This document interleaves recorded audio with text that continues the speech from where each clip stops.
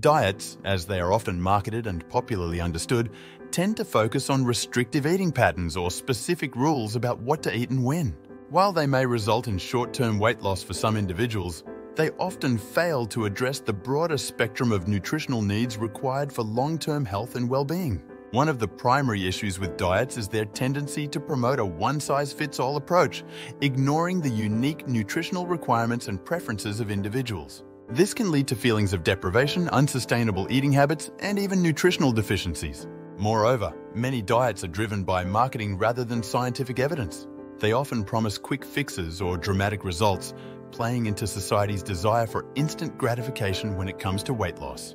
This can perpetuate a cycle of yo-yo dieting, where individuals experience temporary weight loss followed by regain, ultimately damaging their metabolism and overall health.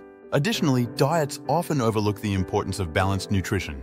While calorie deficit is indeed a fundamental aspect of weight loss, simply reducing calories without considering the quality of those calories can be detrimental to health. A diet composed solely of low-nutrient, processed foods may result in weight loss, but it fails to provide essential vitamins, minerals, and other nutrients necessary for optimal functioning of the body. Whole foods, on the other hand, offer a rich source of vitamins, minerals, antioxidants, and other beneficial compounds that support overall health and well-being. By focusing on nutrient-dense foods such as fruits, vegetables, lean proteins, whole grains, and healthy fats, individuals can not only achieve weight loss goals, but also improve their overall health and reduce the risk of chronic diseases. What are your thoughts on diets? Do you believe they provide long-term solutions for health and weight management?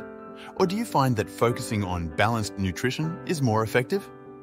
Subscribe and comment below to share your perspective. Diets, as they are often marketed and popularly understood, tend to focus on restrict diets, as they are often marketed and popularly understood, tend to focus on restrictive eating patterns or specific rules about what to eat and when. While they may result in short-term weight loss for some individuals, they often fail